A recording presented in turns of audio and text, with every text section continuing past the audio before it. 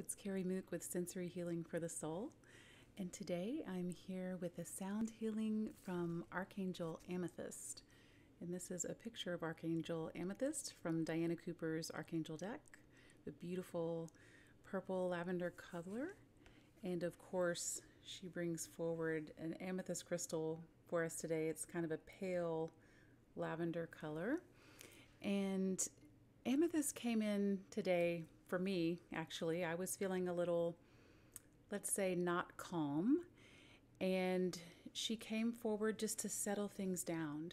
So, and it really helped. so imagine amethyst light and amethyst liquid just coming down around you and enfolding you.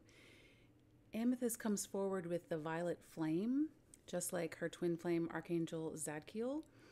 But with her, it's it's much more gentle and soothing. It's almost like a sigh of relief. Imagine the feeling when you sit down in a nice warm bath and you just get to release and let go. That's the feeling when amethyst puts her purple energy around you. Imagine yourself lowering down into an amethyst bath, that beautiful purple liquid, and it just releasing any tension, any lower vibrations that need to fall away. That's the energy that she's bringing forward for us today. It should help you to feel very calm, very peaceful, very at ease. So take a deep breath and center yourself and let it out. And allow the energy of amethyst to enter in.